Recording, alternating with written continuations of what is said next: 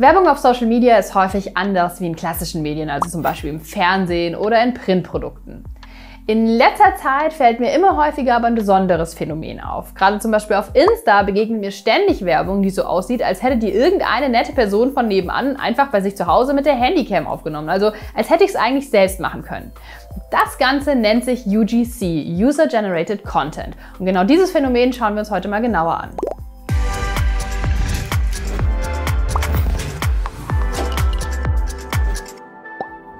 Statt in eine perfekt ausgeleuchtete Küche, in der irgendjemand den cremigsten Joghurt ever isst, schaue ich dabei zu, wie jemand in einem ziemlichen Standardbad eine Gesichtsmaske aufträgt oder scheinbar die Handycam als Spiegel verwendet und dann irgendwelche Kosmetikprodukte verwendet.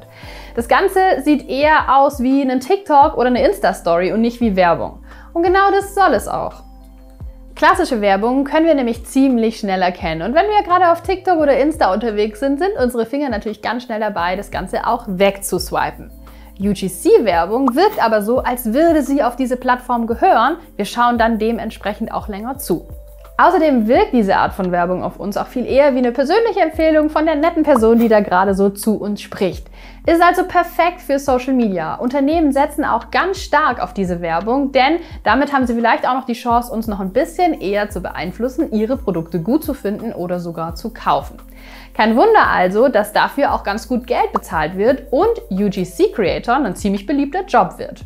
Eigentlich ist die Art von Werbung, die UGC-Creator machen, der Art von Werbung, die Influencerinnen und Influencer machen, ziemlich ähnlich. Es gibt bei dem Job aber einen ganz zentralen und großen Unterschied.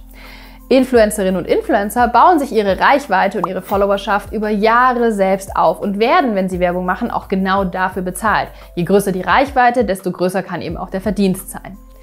UGC-Creator machen sowas gar nicht. Die brauchen eigentlich noch nicht mal ein eigenes Social-Media-Profil, denn sie nehmen ihre Werbeinhalte ganz genau, wie das eben sein soll, zu Hause auf und schicken das dann an das Unternehmen, die das bestellt haben. Das Unternehmen kümmert sich dann darum, wo und wie oft die Inhalte ausgespielt werden. Da bezahlen die in der Regel dann zum Beispiel Instagram und TikTok für diese Werbung. Außerdem teilen UGC-Creator nichts aus ihrem eigenen Leben und genau das machen Influencerinnen und Influencer ja schon zu einem ganz großen Teil. Werbung ist nur ein kleiner Teil des Influencerinnen und Influencer-Inhalts, aber der einzige und große Teil von UGC-Creator-Inhalten. Einige UGC-Creator haben aber eigene Social-Media-Accounts und prahlen da auch hin und wieder drüber, wie viel sie mit ihrem UGC-Job verdienen. Dabei muss man aber unbedingt beachten, dass Unternehmen ganz unterschiedlich viel Geld für UGC-Inhalte ausgeben. Außerdem sollte einem klar sein, dass man als UGC-Creator auch nur für eine bestimmte Anzahl von Unternehmen Werbung machen kann. Denn sonst würden wir als Zuschauende ja irgendwann das Gesicht oder auch die Stimme als typisches Werbegesicht oder typische Werbestimme erkennen und genau wegswipen. Wie bei normaler Werbung eben. Ist dir UGC-Werbung schon mal aufgefallen? Achte mal drauf, wenn du auf Insta oder TikTok unterwegs bist. Ich finde das Ganze nämlich ganz schön spannend und glaube, wir werden da in nächster Zeit noch viel mehr davon zu sehen bekommen. Wenn du was Neues in diesem Video gelernt hast, dann lass uns unbedingt ein Like oder ein Abo da und ich sage mal bis zum nächsten Mal.